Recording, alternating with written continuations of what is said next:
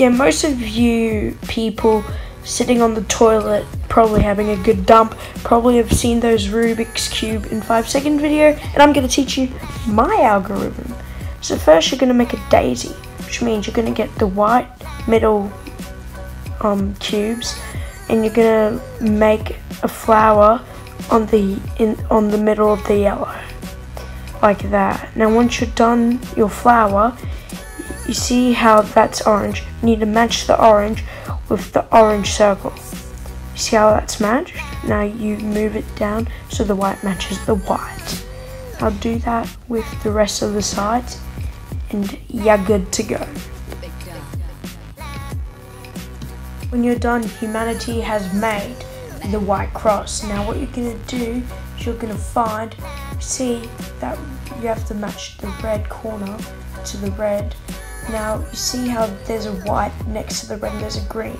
The green needs to go on the side next to the red, the red needs to go down, and the white needs to go below the red. So do this algorithm. R, U, R apostrophe, U apostrophe. Now most of you guys probably think I've gone insane, I've lost my mind, but look at this chart and it will make sense. Now second case is, it's on the left side, which means you have to do the exact same thing, except just on the left, so basically do the algorithm, R apostrophe, U apostrophe, R, U. Now you're going to do that to all the sides and you've just solved the bottom layer. Now you have to find a middle cube to match. So I'm going to use a red one. So you have to match the red. Now the blue, the red needs to go there and the blue needs to go there. Which means you turn it to the opposite side that the blue needs to go to.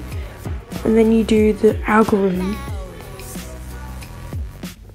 Now after you do that algorithm, you're going to turn it left and then you're going to do it again. Now second case is it's going to be on the right side. So we're going to find one which is on the right side. And sometimes you have to do the algorithm to make sure there's actually one. So turn it the opposite direction, do the algorithm, turn it right, do the algorithm again, and that's on the right side. Now do that for the rest of them and you've done the second layer. Now we're going to do the yellow cross. So you see how there's a yellow middle bit? We're going to do the algorithm in a slightly modified version. So turn it, do that, and sometimes it doesn't turn out at the first bit, so you have to do it again. And there you go, you made a yellow cross. This is how you fill in the, the corner bits, so it's way more modified, so pay attention. R, U, apostrophe U R apostrophe U to R. Now you're gonna do it again until you've got a little zero shape like this. Now you need to do two more algorithms. Now this is the most hardest part of the whole thing, so be careful. Now you're gonna move it to your yellow side and do the most modified algorithm. So just pay attention. Now, most people mess up here, so watch the video twice so you double check.